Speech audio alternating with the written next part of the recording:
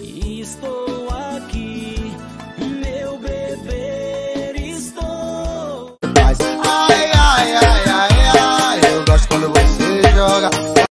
Tô viva, viu, gente? Tô aqui em São Paulo ainda. E hoje eu volto pra, cá, pra mansão da tia Ellen. gente, deixa eu falar pra minha gente. É, e o meu cabelo que clareou. Gente, vocês notaram alguma diferença no meu cabelo, minha gente? Ele tá mais claro, né, ó. Eu não sei o que foi que eu passei, não sei se foi algum shampoo, não sei se foi chapinha, não sei se a tinta saindo, né? Porque meu cabelo tava loiro e eu pintei de preto, deve ser a tinta saindo, né?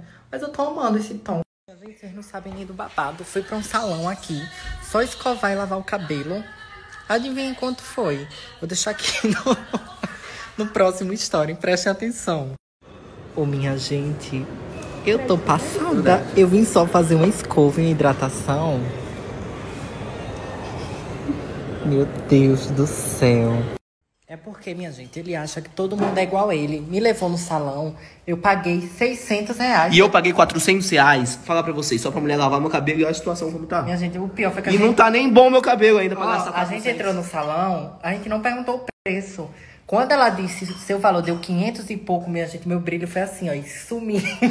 E o meu que deu 400 para só pra achar um shampoo ah, mas só? pra você não é nada, querido. Ah! Pra você, 400 reais não é nada. Pra mim, a gente, 600 reais. que meu cabelo continua ruim, isso é a pior parte.